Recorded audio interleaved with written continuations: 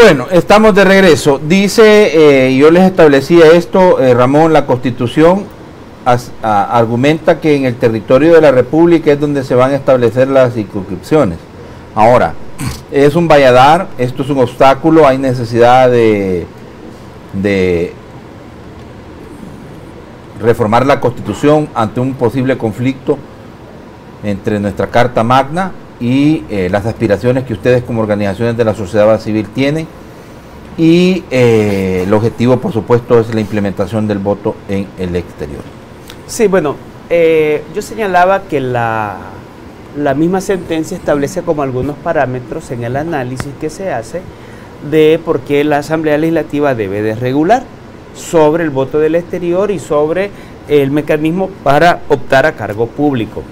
Y ahí establece este principio de que no puede haber, por razón del lugar en donde los salvadoreños viven, especialmente se remite a hablar de los que viven fuera del país, eh, que no puede haber ningún tipo de discriminación.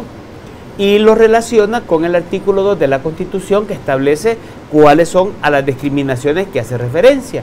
Y aunque el artículo 2 hace referencia a raza, sexo, etcétera, eh, debe de entenderse, dice la sentencia, que no se limita a esas razones, sino a todas aquellas razones que discriminan a las personas en el ejercicio de sus derechos.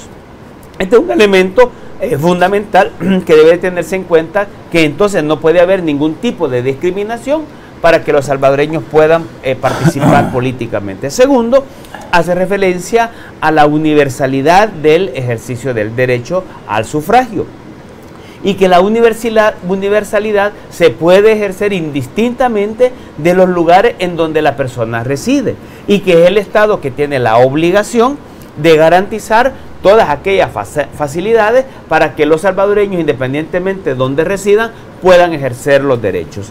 Estos dos elementos son fundamentales como parámetro para poder entender que existen principios de carácter constitucional, pero como la constitución no se puede leer ni entender de manera aislada, sino en su integralidad, lo que significa que cuando priman los derechos de las personas, cualquier otro principio se, eh, se antepone el derecho a cualquier otro principio de carácter constitucional. Sin embargo, sin embargo, este es nuestro argumento y nuestro análisis, pero quien puede y debe de determinar efectivamente si existe o puede existir un vicio de inconstitucionalidad en la misma sala de lo constitucional. Lo que hemos recomendado a la Asamblea, y, nosotros lo vamos a hacer también, es que se le pueda consultar a la, sala de qué manera se puede reglamentar precisamente eh, estos mecanismos para que los salvadoreños del exterior puedan optar a cargo público en elección legislativa y municipal.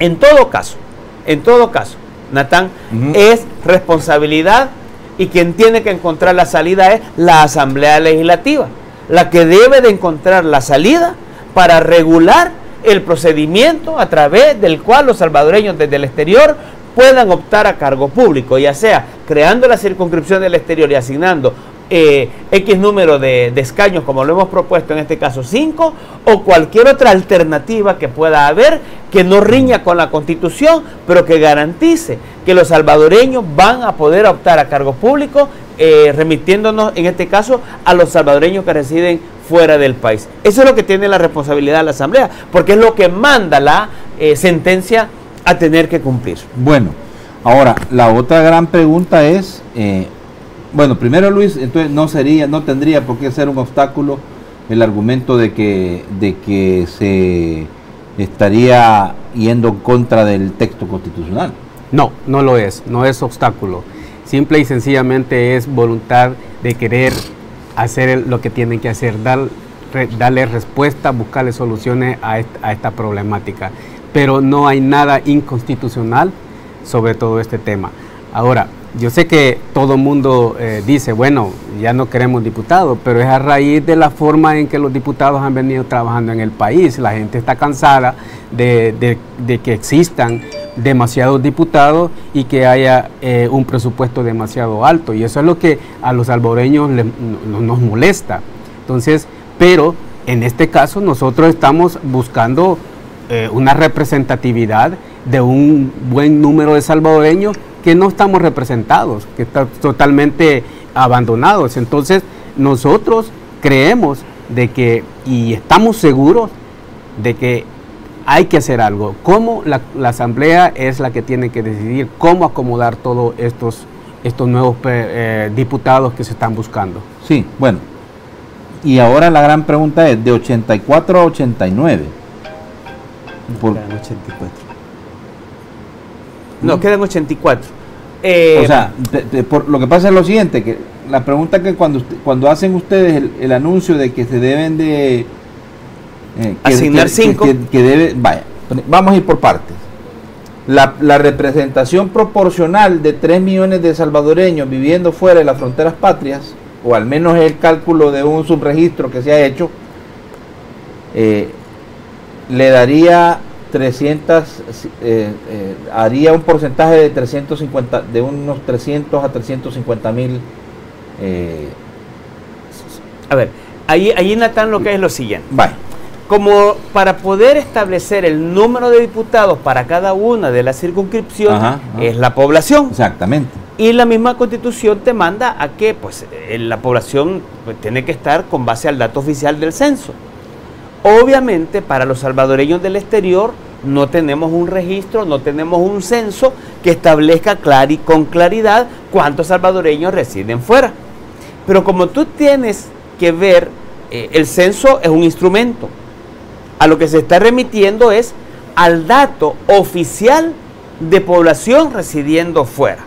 El único dato de población que tenemos registrados oficialmente viviendo fuera son 390 mil eh, salvadoreños que están dentro del registro electoral.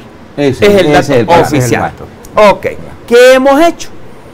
hemos tomado la base del censo que utiliza el Tribunal Supremo Electoral, la cantidad de población que hay por cada uno de los departamentos, más los 390 mil. Esa suma total nos permite a nosotros poderla dividir entre los 84 diputados, lo que nos da un cociente nacional de población. A, dividir por, entre ese cociente nacional, se establece una nueva cantidad de diputados que correspondería a cada circunscripción departamental. Y ahí aparecen los cinco diputados que le correspondería a la circunscripción del exterior. Entonces, ¿Qué significa? Que al hacer la nueva redistribución, San Salvador disminuye dos, San Miguel disminuye uno, Sonsonate disminuye uno, y, ah, no, perdón, La Libertad disminuye uno y, son, y Usulután disminuye uno. Ahí aparecen los cinco menos dos San Salvador, menos uno La Libertad, menos uno San Miguel, menos uno eh, Usulután. y esos eh, se asignan al exterior. Quedan 84.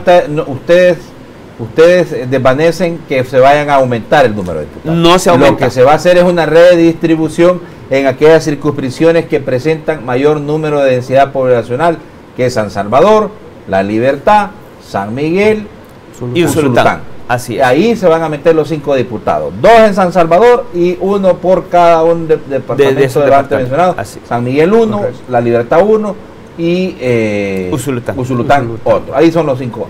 De esa es una propuesta que ustedes han hecho, Luis, para facilitarle la tarea a los diputados que no anden perdidos de cómo es que van a hacer, ¿verdad?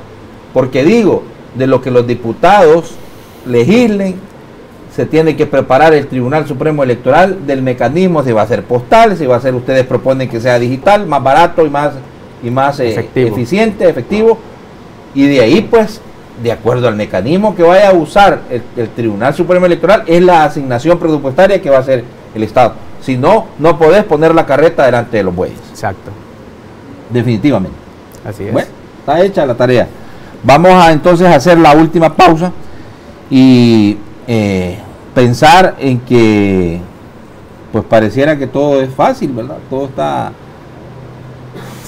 así como dicen a, a, a, flor de piel, pero es mentira, ¿verdad? Porque esto, esto depende de mucha voluntad política. Es voluntad política la que debe existir para poder darles a ustedes como salvadoreños en el exterior, eh, Luis, y en este caso el respaldo que está dando la iniciativa social para la democracia esta posibilidad para el 2021, 2021. Bueno, Ya regresamos y prepare su teléfono, por favor, al 2263-2608 para que pueda participar en el segmento de opinión ciudadana exclusivo para usted, nuestro invitado especial de todas las mañanas, el pueblo salvadoreño.